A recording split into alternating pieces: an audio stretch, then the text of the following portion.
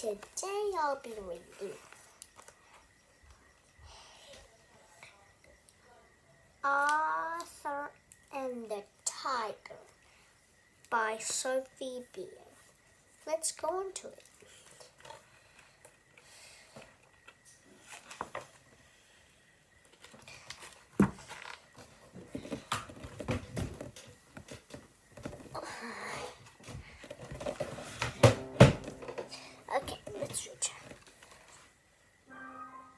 Perched on the edge of a smoggy city was a happy circus.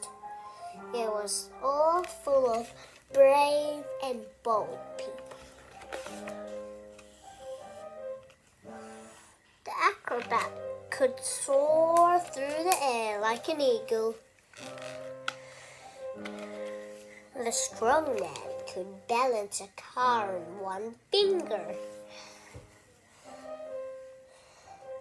The jugglers could breathe fire like dragons. But the ringmaster's son, Arthur, was not strong at all.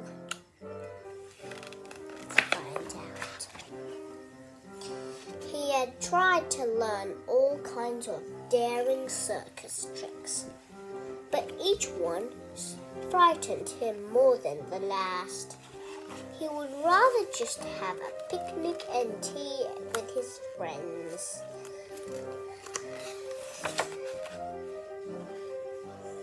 One day, Arthur heard news so alarming that that he, that his head that his toes curled in fright and his hair stood upright. The circus was getting a tiger. Who will be the tiger tamer? said said said said Arthur. Funny you should. They must be very brave. Funny you should say so. Said the said the said the said the ringmaster. Because the tiger tamer will be. Ooh, who's gonna be? You.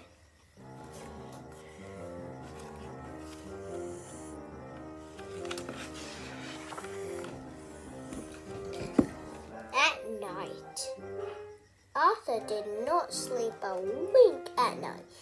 He could picture the tiger prowling and growling, biting and yowling fearsome fangs and mean, glowery glare.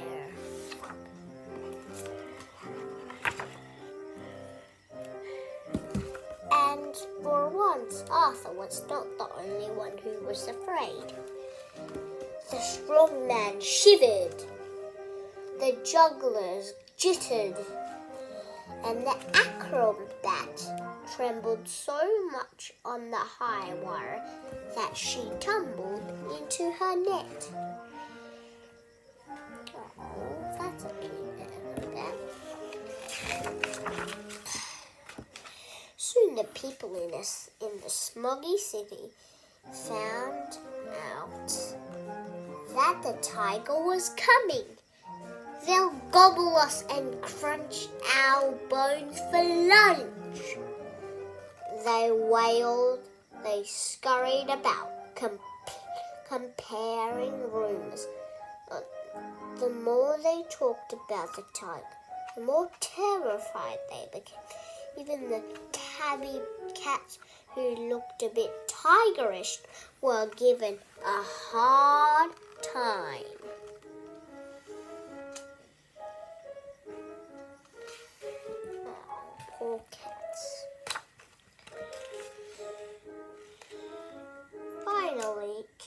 The day the tiger arrived. The citizens of the smoggy city stomps and shouted. The strong man, the jugglers, the acrobat, and even the ringmaster did not look brave at all. Oh, the ringmaster used to be brave.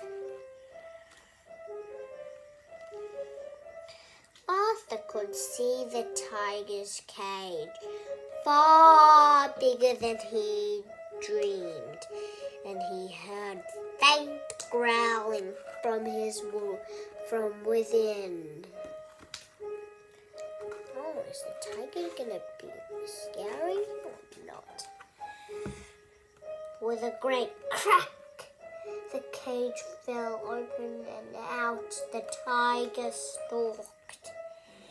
Huge and hulking, yowling and growling, foul and fearsome, until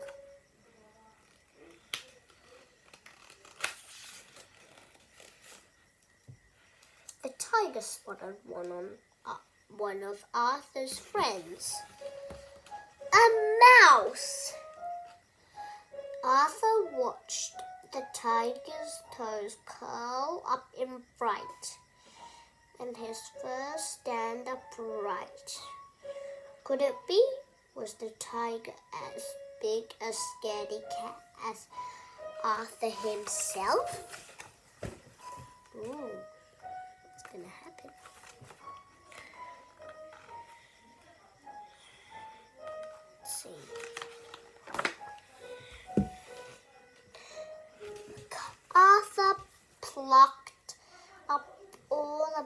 Th- thumping through his little body and held up a trembling hand to it to the tiger. The golden eyes, glowing tail, swishing the tiger lifted his magnificent head and nuzzled Arthur's hand in a friendly greeting, mewing happy, happily like the engine of a rusty, dusty car. Oh, that's nice, isn't it? It is. I'll trump him, cried one. I'll gobble him, shrieked another.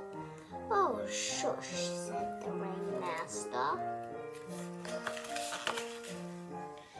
One starry night in spring, the people of the smoggy city, and the strong man, and the jugglers, and the acrobat were very proud.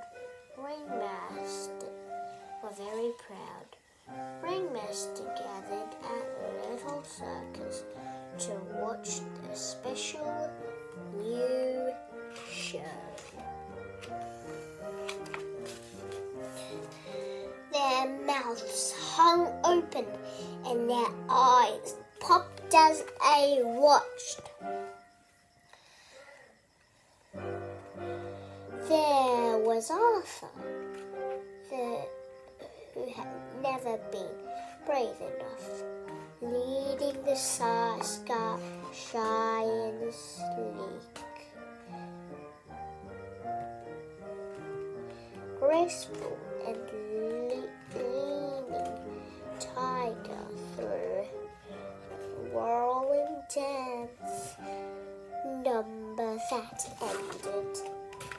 with a picnic and a cup of tea.